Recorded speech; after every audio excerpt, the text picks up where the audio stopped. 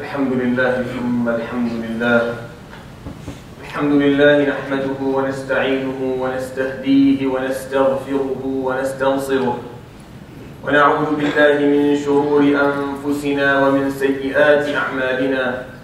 من يهد الله فهو المهتد ومن يضلل فلن تجد له وليا مرشدا. وأشهد أن لا إله إلا الله وحده لا شريك له وأشهد أن سيدنا وحبيبنا وعظيمنا وقائدنا محمدا عبد الله ورسوله وصفيه من خلقه وحبيبه. اللهم صل وسلم وبارك على سيدنا محمد وعلى آله وصحبه أجمعين. وبعد.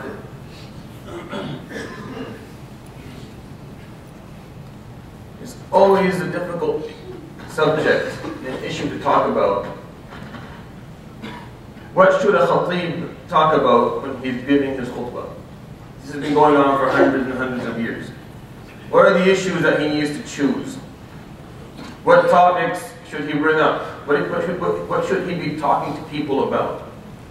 Now, from looking at the Prophet Prophet's life, you see that he observed Muslims. He watched closely. And then he would bring up issues that were relative to their time. Current issues that were important, that they need to learn about. And looking at the Islamic world today, looking at the Masjid al-Aqsa being violated, they're trying to destroy it. Looking at the aggression that is happening in Syria and the civil blood that is being spilled every day. Looking at Iraq, for the last 10 years now we've lost a million Iraqi. Looking at Somalia, looking at Afghanistan, looking at Pakistan, going through them one by one. It's very difficult to choose subjects that are relevant. It's very difficult. And I do believe that whatever it is you talk about, Islam is important. Every part of Islam is important. There is nothing that we can talk about within the Islamic faith that is not relevant if you, if you have the right perspective. Today, I have chosen one of the thickest issues one of the thickest issues within the Islamic faith. So I hope I don't take too much time, and I hope that you, you stay engaged with this. Unfortunately, we have extremism within our faith. But every theology and philosophy in the world, throughout history, does too. Every theology has had extremism within it. It's fine. Why? Because it, all you have to do is take the text and then take it out of context or copy and paste certain words. It's very easy. It's very easy to manipulate any text in the world by just taking a piece out, singling it out of everything around it, to try to show the person who's listening as if this is the only thing the Quran is talking about or this text is talking about. And we have two different types of extremism. We have extremism in the form of people talking about Islam as if it is the religion of war. And we have extremism in the form of people talking about Islam as if it's the religion of peace. Yes, I said it. As if it's the, it's the religion of peace. Because it isn't. هو الذي أرسل رسوله بالهدى ودين السلام لا ودين الحق the religion of righteousness.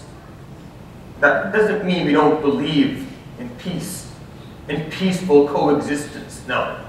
But for you to feel that your back is up against the wall to the point where you have to show your religion as if it's a religion of peace, as if we have nothing to stand for, nothing to, to be, as if we have something to be ashamed of.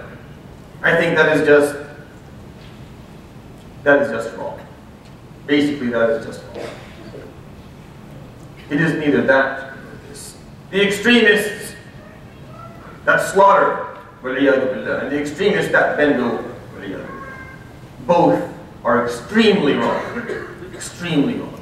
Today I'm going to attempt to explain to you a huge problem that was brought up in the last few hundred years within the Islamic faith. If you have heard of it, then inshallah you will benefit from this. And if you haven't, then you should hear about it. You should know about this. This is important. They will use this against you. Whether extremist Muslims or Western non-Muslims who want to also copy and paste verses of the Quran. There's a saying, a very wrong saying, that goes like this.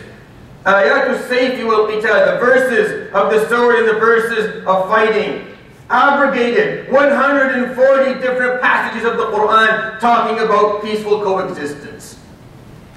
Now that phrase itself should have been enough to end the discussion.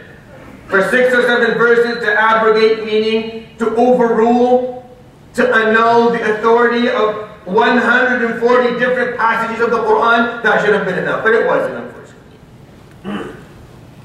And the truth is, Ayatul Sayf, the verse of the sword, is not even known which one it is. Scholars don't know which one it is. They have different theories, but they're not sure which one Ayatul Sayf is. I'm going to run through all the verses that talk about Qital in the Quran. I'm going to go through all of them, inshallah, without taking too much time. And we're going to look at their context, each and every one of them. And then it will be obvious, inshallah, to you. The prominent opinion is that Ayatul Sayf is the number 5 of Surah At-Tawbah. فإذا انسلخ الأشهر الحرم فاقتلوا المشركين حيث وجدتموهم وخذوهم واحصروهم واقعدوا لهم كل مرصد And when the sacred months are over, then you must fight the pagans or the mushrikeen, the ones who do not believe, and kill them, and capture them, and ambush them, and have no mercy on them. Taking that phrase out of the Quran is horrific. To take that phrase out and stick it anywhere and say, look what the Quran says, that is horrific, true. But that is taking words out of context. Now, verse number four, the one before it. إلا الذين عاهدتم من المشركين ثم لم ينقصوكم شيئا ولم يظاهروا عليكم أحدا فأتموا إليهم عهدهم إلى مدتهم But this is the verse before it. The mushrikeen who have never violated the treaties with you, have never supported anyone against you, then fulfill your treaties and covenants with them. Allah subhanahu wa ta'ala loves those who are pious. Inna Allah The verse that is after it, number six. وإن أحد من المشركين استجارك فأجره حتى يسمع كلام الله. And if any of the mushrikeen ask you for protection, if it was an open war, as, as, they, as they want us to believe, an open war, then what do you do? You offer him your protection? That's what the Quran says. فَأَجِرْهُ حَتَّى يَسْمَعَ كَلَامَ اللَّهِ and, tell him about the word of Allah. And then what? If he doesn't believe either Islam or safe, ثُمَّ أَبْلِغْهُ مَأْمَنَهُ And then take him, protect him, and make sure he gets where he wants to go. He used your protection. Are these verses, is the verse of Sayf or qital? فَإِذَا سَلَفَ الْأَشْهُرُ الْحُرُمُ Talking about all non-believers. Is this the, a verse talking about an open war with all those who do not believe, or about specific people who had a specific action against Muslims? Let's go through, through the verses. Verse number seven. كيف يكون This is all aside the verses before and after it. كيف يكون للمشركين عهد عند الله وعند رسوله إلا الذين عاهدتم عند المسجد الحرام فما استقاموا لكم فاستقيموا لهم those who fulfill their treaties with you and covenants, then you fulfill your treaties and covenants with them. Verse number 10, that summarizes the whole issue. لا يرقبون في مؤمن إلا ولا ذمة وأولئك هم المعتدون They do not respect their treaties and covenants with Muslims. And those are the transgressors. The issue is transgression. The Muslims, in the last couple of years of his life, وسلم, when they had certain power, started making covenants and treaties with all non-Muslims around them. The treaties are talking about what? That you do not kill us. You let us exist as Muslims. And the mushrikeen broke those treaties and violated those treaties time and time again. And they kept on doing it and backstabbing the Muslims to the point these verses came down saying that's it. No more. Those who have broken the treaties three, four times in a row, that's it. No more treaties with them. No more. Verse number 12. وَإِن نَكَثُوا أَيْمَانَهُم مِّن بَعْدِ عَهْدِهِمْ وَطَعَنُوا فِي دِينِكُمْ فَقَاتِلُوا and if they break their treaties with you, and they try to destroy Islam, and they try to destroy your existence, then fight them. Verse number 13. Will you not fight those people who have broken and violated the treaties with you? And they have tried to expel the Prophet from his land that he lived in. وَهُمْ بَدَؤُوكُمْ أَوَّلَ مَرَّةٍ And they started transgressing against you. They started this. أَتَخْشَوْنَهُمْ Are you afraid of them? فَاللَّهُ أَحَقُّ أَن تَخْشَوْهُ إِن كُنتُم مُؤْمِنِينَ Allah is more worthy for you to revere than them. It is obvious from the context what the idea is. It's obvious. Just, just read the surah. But to take out verses, put them on the wall and say, that is it. That's what they say, that's what Quran says. It's horrific. It's just horrific. Yes, fight them when they break their treaties with you time and time again. Yes, fight them when they do not respect your existence and do not respect the covenants with you, when they do not respect your blood. Yes, of course. Defend, stand up for yourselves. In the middle of all of these verses, three times in verse number three, talking to the mushrikeen, فَإِن تُبْتُمْ فَهُوَ خَيْرٌ لَكُمْ in general, if you repent from doing this, don't do this again, then that's good for you.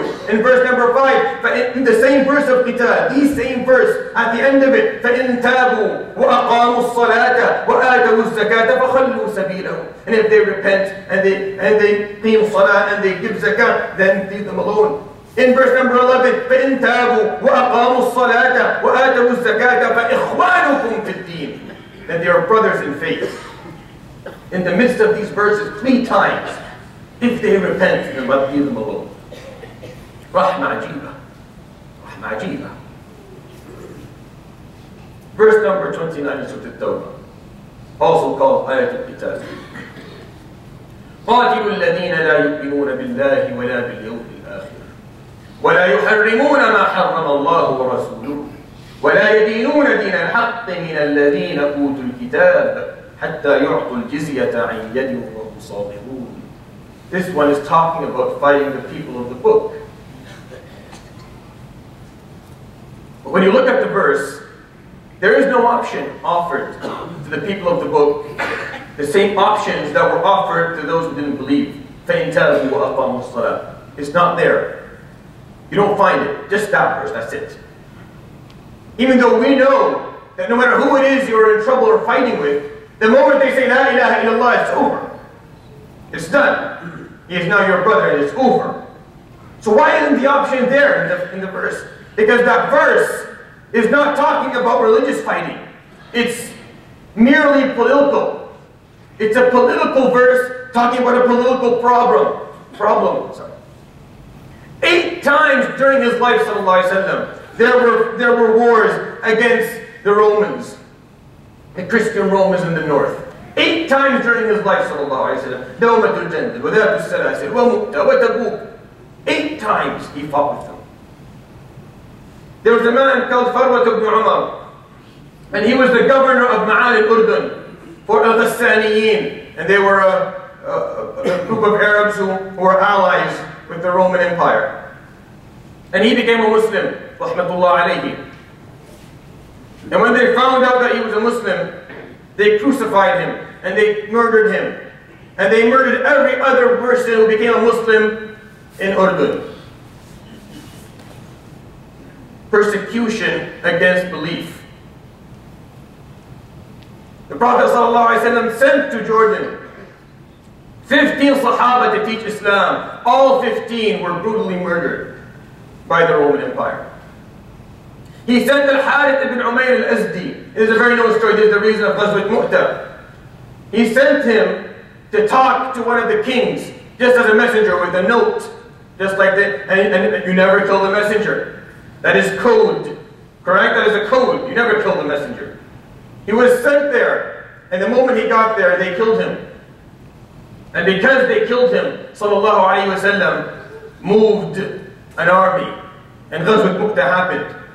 And yes, the Muslims were beaten that Ghazwa. They did not win. They weren't prevalent. Because it was unbelievably unequal. 3,000 Muslims against at least 100,000 of the Romans. But to understand this verse, you need to know the, hist the history behind it. The number of times that the Roman Empire tried to wipe out the Muslims, the number of times they stabbed them in the back. How many treaties they broke and violated. And that's why that verse is there. The only, the sole purpose of the verse, the sole purpose of it, is to establish political existence. That's why at the end of the verse, it does not say, and if they become Muslim, they'll leave them alone. No. Evidence of them accepting your political authority is for them to give jizya. That's evidence. عن يد. You know what عن يد means? عن يد means حتى يعطوا الجزية عن يد. عن يد means for those who are capable of doing it. Meaning those who are too poor, they don't have to pay jizya. Al-Rahman, even in the midst of this verse, verse that seems very intense and very difficult. حتى يعطوا الجزية عن يد. Those who, who can afford it is merely understanding the context of the Quran. For you to deal with the Quran as if it was set down in one block with no with nothing happening around it, no circumstances, no life story. You, you can't understand it. It's impossible. You can't do it. You have to know what was happening to him, wasallam, and to the Muslims. That's verse number 29. Verse number 36. Very obvious at the end of it. وَقَاتِلُوا الْمُشْرِكِينَ كَافَّةً كَمَا يُقَاتِلُونَكُمْ كَافَّةً And as they fight you all together, supporting each other, coming together to wipe you out, then you do the same thing. Gather, gather each other as Muslims and fight them back. You see, the fighting in the Quran is talking about Saddul Idwan, pushing back transgression. Fighting those who are transgressing against you, those who are persecuting you and oppressing you, fighting them back, establishing the right for your own existence. The verses of Surah At-Tawbah could not be could not be more obvious.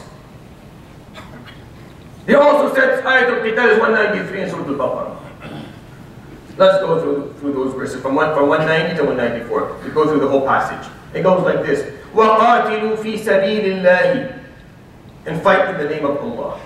وَقَاتِلُوا فِي سَبِيلِ اللَّهِ الذين يقاتلونكم ولا تعتدوا It is the most obvious verse in the Quran. And fight in the name of Allah those who fight you and do not transgress. And do not transgress. Do not لا تعتدوا do not oppress anyone ولا تعتدوا إن الله لا يحب المعتدين Allah does not like those who transgress وقتلوهم حيث And fight them where you find them. وأخرجوهم من حيث أخرجوكم. And make them leave the same land that they made you leave in the first place. It is their action in the first place that brought this upon, upon you and them. والفتنة أشد من القتل ولا تقاتلوهم عند المسجد الحرام حتى يقاتلوكم فيه and do not fight them in the Masjid al-Haram until they fight you first فإن قاتلوكم فقتلوهم كذلك جزاء الكافرين but if they do then fight them back then right after that فإن انتهوا and if they stop فإن الله غفور رحيم Subhanallah, complete change of, of shifting of gears in the verse. And if they stop, then Allah is Ghafur Rahim. وقاتلوا This is the verse that they use. حتى لا تكون فتنة ويكون الدين لله. You fight them so there will be no fitna. So the religion will be for Allah. What is fitna? Fitna is a very known word that is used for someone who's being forced out of his faith someone who is put in a test or in a difficult situation that is making him lose his own faith. Fight them so Muslims don't lose their own faith. So Muslims aren't forced out of believing Allah. فَإِنْ انْتَهَوْا When if they stop, فَلَا عُدْوَانَ إِلَّا عَلَى الظَّالِمِينَ Then you will not fight except those who oppress you. Going to verse number 38 in Surah Al-Anfal. These are all the verses that talk about Kitab all of them together. قل للذين كفروا إن ينتهوا يغفر لهم ما قد سلف. Tell those who do not believe. If they stop fighting you and they stop transgressing against you, يغفر لهم ما قد سلف. Allah subhanahu wa ta'ala will forgive everything that they did before. وإن يعودوا and if they insist on fighting you فقد مضت سنة الأولين then what happened to those who did that before them will happen to them what happened what is it وقاتلوهم that you're going to fight them that you are going to fight them off وقاتلوهم حتى لا تكون فتنة ويكون الدين كله لله the same verse in the same meaning the same context فإن انتهوا and if they stop فإن الله بما يعملون بصير Allah subhanahu wa ta'ala has seen that they stopped, and He will be forgiven. The same thing goes for verses 88 to 91 in Surah Al-Nisa, talking about munafiqeen, the same thing. Munafiqeen who showed nifaq in their action, but still claim to be Muslim. Allah subhanahu wa ta'ala says, do not fight them. If they don't fight you, don't fight them. If they do not actual, actually fight you, then do not fight them. Even if they showed nifaq, yes, it doesn't matter. Leave them alone. 88, 91, we read in Surah Al-Nisa. Very obvious. It's horrific to take verses out of the Quran and try to show as if they came like this with no context around them. As if they're just like that, that's all they are. Just the wording. Just the wording. Not even reading the verses before it or after it. Not even looking at the whole passage together. I would accept at least reading the whole passage. At least reading four or five verses around it just to get a, you know, an understanding of what the verse is talking about. At least you owe the Quran that much. But let me say this. You will have a different type of extremism. People who do the same thing to the verses of Salam Quran. They take them out of their context. They slap them on a wall and this is it. See, it's all wrong. All of this is not fair. This is not righteousness. When you look at the Quran, you're looking at the whole Quran. Every word in it, all together. All of the circumstances surrounding it, all the trans all the all the transitions in the Prophet's life, sallallahu alaihi wasallam, what he was in Mecca, what he was in Medina, and how things changed, studying the whole thing together, and then you understand it. To take out verses and treat them as if this is the only part of Islam, هذا ليس حقا هذا ظلم This is oppression, this is wrong. أقول قولي هذا وأستغفر الله لي ولكم فاستغفروه يغفر لكم. يا فوز المستغفرين استغفروا الله.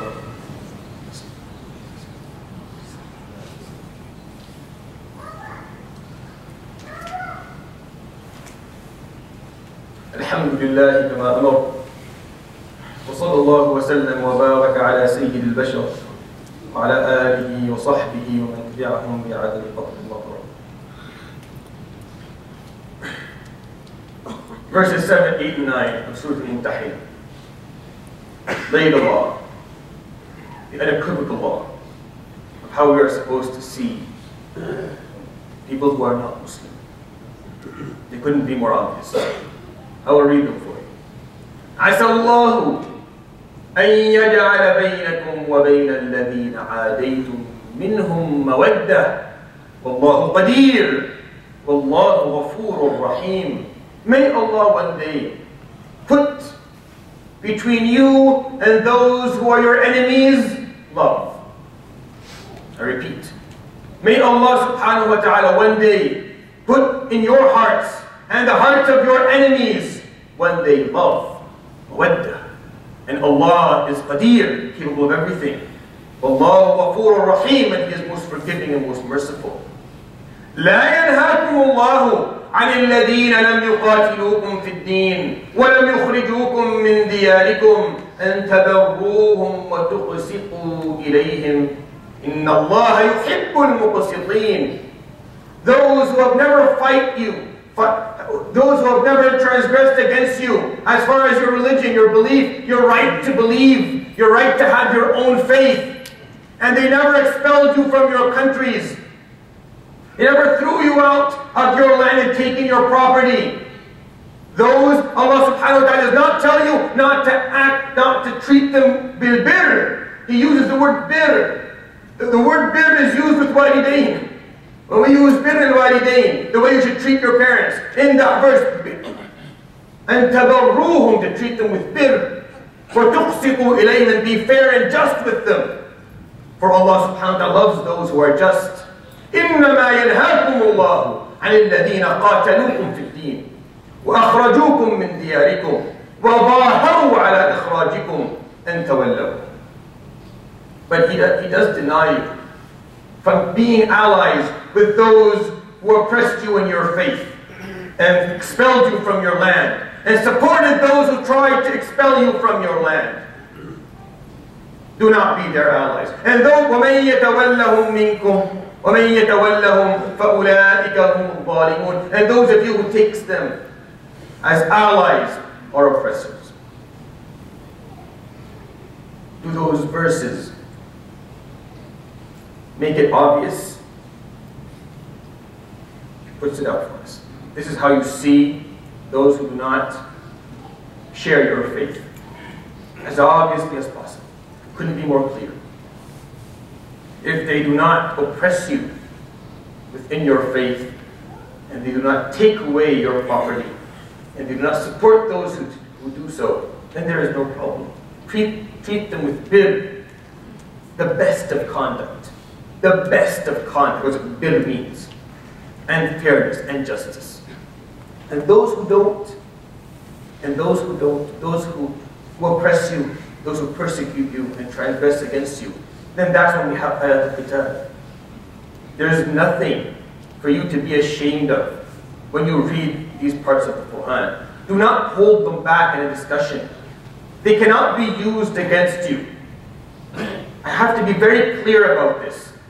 These verses are not to be used against you as a Muslim. Something for you to shy away from when talking about Islam, or not to bring up, or sugarcoat. No. These verses are obvious and clear. And if they're not clear to you, then go read them. And look within them, they will become clear. And you will understand that Islam, Deenul Haqq, is a religion of righteousness that believes in standing up for what is right. We do not, we do not accept oppression against ourselves and, and just watch it happen. We don't do that. As Muslims, we don't accept it. There are religions that are like that. Buddhism. They take a slap, they don't care. Fine, whatever. We just sit down and take it. Muslims don't. There's nothing to be ashamed of. This is what we believe in. It's, very, it's actually very beautiful. And it's very righteous. And it makes you feel very, very safe. You do not transgress against anyone as a Muslim, as an article of your own faith. But at the same time, you do not accept transgression against you as an article of your own faith. And if there's anything wrong with that, if you feel there's anything wrong with that, then you need to go and revise your understandings. The verses of the Quran, if anything, if anything at all, show the level of mercy in Allah subhanahu wa ta'ala's word. Because even when he's talking about fighting, غفور رحيم فإن تابوا وأقاموا الصلاة فإن تبتم فهو خير لكم bring if they repent if they stop if they leave you alone if they don't fight you anymore then let, let them go let them go treat them nicely fulfill your treaties with them time and time again why because this is not a religion that looks for blood but it looks for righteousness that's why when Allah subhanahu wa ta'ala first talked about qital for the first time I end with this the first word أذن للذين يقاتلون Now, after they left Mecca went to Medina, it is permissible for Muslims to fight. Why, Ya Allah? بأنهم ظلموا Because they have been oppressed. Because they have been oppressed. I hope my message has been conveyed properly. أسأل الله سبحانه وتعالى أن يوفقني وإياكم ويرحمني وإياكم. واعلموا أن الله سبحانه وتعالى أمرنا بأمر عظيم. ابتدأه بنفسه فقال إن الله وملائكته يصلون على النبي. يا أيها الذين آمنوا صلوا عليه وسلموا تسليما. اللهم صل على محمد وعلى آله. كما صليت على إبراهيم وعلى آل إبراهيم وبارك على محمد وعلى آل محمد كما باركت على إبراهيم وعلى آل إبراهيم في العالمين إنك حميد مجيد. وارض اللهم عن الأربعة الخلفاء السادة الحنفاء أبي بكر وعمر وعثمان وعلي. وارض اللهم عن أزواجه أمهات المؤمنين وعن آل بيته والصحابة والتابعين وعنا معهم يا رب العالمين. اللهم اغفر للمسلمين والمسلمين والمؤمنين والمؤمنات الأحياء منهم والأموات. اللهم ارحمنا إذا علق منا الجبين وكثر منا الأنين وبكانا الحبيب ويئس منا الطبيب. اللهم ارحمنا إذا أدرجنا في أكفاننا. وارحمنا إذا نزلنا قبورنا. وارحمنا إذا نفخ في الصور. وارحمنا إذا قمنا للعرض والنشور. اللهم فرج عن إخواننا المستضعفين في مشارق الأرض وفي مغاربها. اللهم غوثك للمسجد الأقصى يا الله. اللهم غوثك للمسجد الأقصى يا رب العالمين. اللهم غوثك للمسجد الأقصى يا حي يا قيوم.